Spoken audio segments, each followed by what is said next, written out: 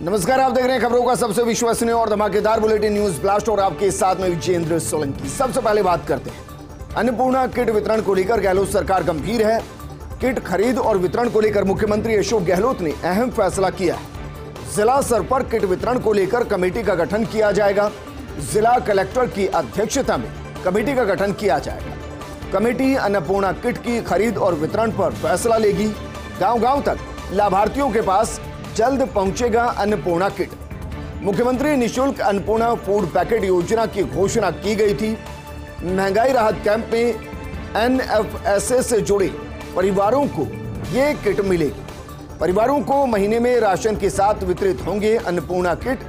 Annapurna food packet में एक kilo दाल होगी, एक किलो चीनी होगी, एक किलो नमक होगा 100-100 ग्राम धनिया, मिर्ची पाउडर होगा 50 ग्राम हल्दी होगी एक लीटर खाद्य तेल होगा। महँगाई राहत कैंप में रजिस्ट्रेशन करवाने के बाद अन्नपूर्णा किट मिलेगा। योजना के तहत अब तक निन्यानवे लाख सत्तावन हज़ार एक सौ बारह रजिस्ट्रेशन हो चुके हैं। तो बात कर रहे हैं गहलोत सरकार की गुड गवर्नेंस की। धार्मिक पर्यटन को बढ़ावा देने के लिए मुख्यमंत्री गहलोत का फैसला। विभिन्न विकास कार्यों के लिए मुख्यमंत्री गहलोत ने स्वीकृति। धार्मिक पर्यटन को बढ़ावा देने के लिए तेरह करोड़ अड़तालीस लाख रुपए स्वीकृत किए। नागौर, जैसलमेर, अलवर में विभिन्न विकास कार्य होंगे। नागौर के लिए सात करोड़ चौहत्तर लाख रुपए। जैसलमेर के लिए एक करोड़ पचास लाख रुपए। अलवर के लिए चार करोड़ चौबीस लाख रुपए की स्वीकृतियाँ प्रदान की गई। साथ ही जमारामगढ़ में खुलेगा पीडब्ल्यूडी का नवीन खंड कार्यालय। इसके अलावा कार्यालय संचालन के लिए छह पदों के सृजन की भी मंजूरी दी गई है। ऐसे ही बांसवाड़ा ज़िले की बात की जाए तो वहाँ नवीन उप तहसील छोटी सरबा का गठन किया जाए। वहीं बात करते हैं मुख्यमंत्री अशोक गहलोत की जोधपुर को बड़ी सौगात की। जोधपुर में खुलेगा हस्तशिल्प एवं हस्तकरघा निदेशालय। उद्योग एवं वाणिज्य विभाग के आयुक्त होंगे निदेशालय के पदे निदेशक। अतिरिक्त निदेशक उद्योग एवं वाणिज्य का एक नवीन पद सृजित किया जाएगा। निदेशालय के मार्केटिंग ई कॉमर्स एवं डिज़ाइन एक्सपर्ट की सेवाएँ ली जाएँगी अन्य अधिकारी, कर्मचारी, उद्योग एवं वाणिज्य विभाग से पद स्थापित किए जाएँगे तो मुख्यमंत्री गहलोत ने जोधपुर को बड़ी सौगात दी है। वहीं अब बात करते हैं वरिष्ठ आईपीएस रवि सिन्हा की, जो रॉ के नए चीफ बनी उनके बारे में जरा जानकारी आपको देते हैं। हालाँकि बहुत ज़्यादा जानकारी उनके बारे में सामने नहीं आ पाई, लेकिन छत्तीसगढ़ कैडर के 1988 बैच के आईपीएस अफसर हैं रवि सिन्हा। रॉ चीफ के रूप में दो साल का उनका कार्यकाल रहने वाला है और 30 जून को सेवानिवृत्त हो रहे सामंत कुमार गोयल की वो जगह लेंगे। अभी कैबिनेट सचिवालय में विशेष सचिव के पद पर सिन्हा तैनात हैं और केंद्रीय कैबिनेट की नियुक्ति समिति ने सिन्हा के नाम को मंजूर करा है, मंजूरी दी। खालिस्तानी नेता हरदीप सिंह निज्जर की हत्या कर दी गई है। कनाडा के सरे में गुरुद्वारे के पास दो अज्ञात हमलावरों ने गोली मार दी। गुरु नानक सिख गुरुद्वारे का अध्यक्षता हरदीप सिंह निज्जर। कनाडा में चरमपंथी संगठन सिख फॉर जस्टिस का भी वो प्रमुख चेहरा था। खालिस्तान टाइगर फोर्स का प्रमुख भी था हरदीप सिंह। जालंधर के हार सिंहपुरा गाँव में हरदीप सिंह का ताल्लुक है। और उसकी हत्या कर दी गई। पूर्व आईआरएस प्रीता हरित बीजेपी में शामिल हो गए हैं। उन्नीस 2019 में कांग्रेस के टिकट पर आगरा से चुनाव लड़ा था।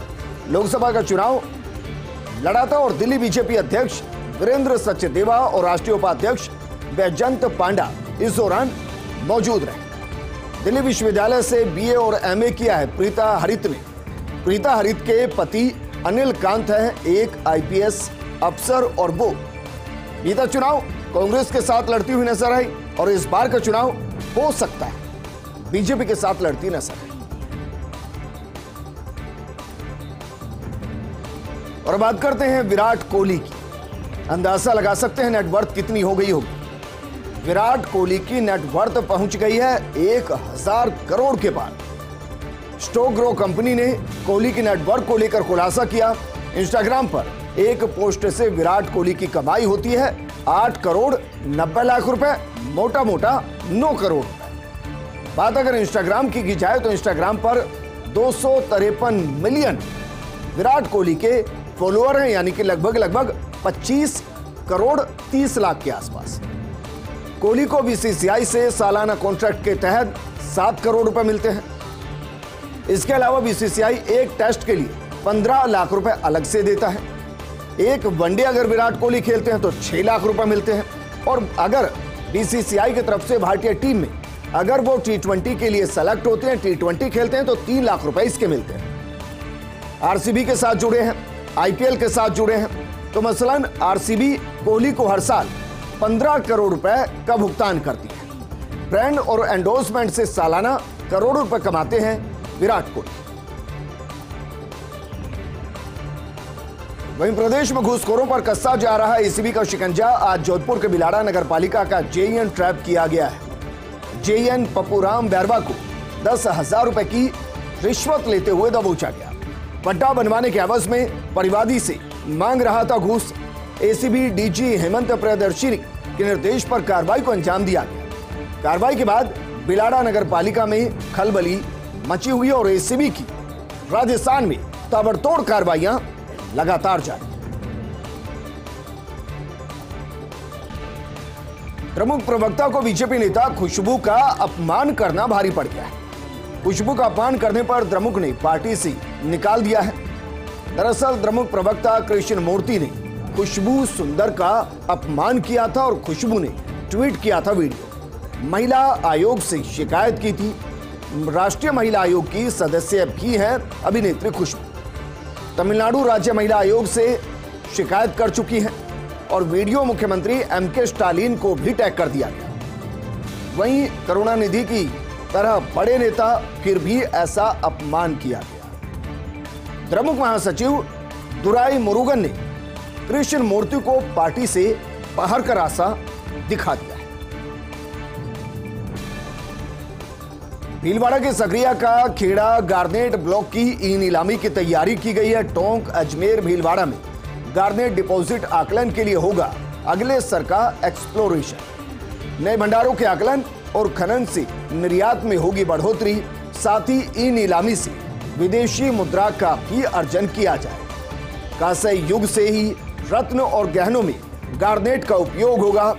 बहु उपयोगी है गार्नेट खनिज और खान विभाग की एसीएस वीनू गुप्ता ने इसकी जानकारी दी।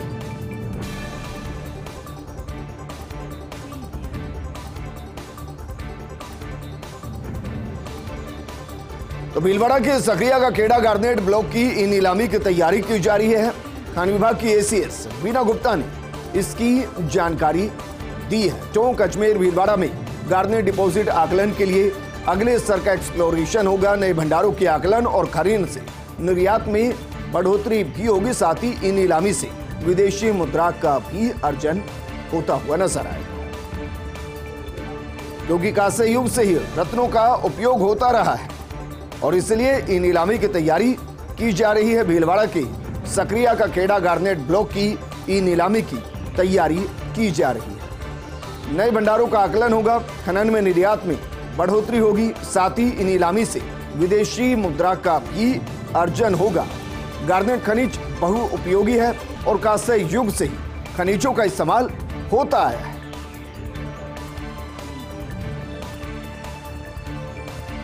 नारगढ़ टाइगर सफारी को लेकर अच्छी खबर है। जेडीए ने टाइगर सफारी निर्माण के लिए ढाई करोड़ रुपए और जारी कर दिए। अब दो महीने में पूरा कर लिया जाएगा टाइगर सफारी का कार्य। सितंबर में पर्यटन सत्र की शुरुआत के साथ शुरू हो सकती है टाइगर सफारी। जल्द ही इंदौर से टाइगर सफारी के लिए बाघ का नया जोड़ा लाया जाएगा। टाइगर सफारी में फेंसिंग, आउटर ट्रैक और गार्ड रूम का कार्य पूर्ण हो चुका है। इसके अलावा वाटर पॉइंट और 10 शेल्टर बनाने का काम बड़ी तेज़ी से चल रहा है। जयपुर में होगी ये पांचवी वाइल्ड लाइफ सफारी।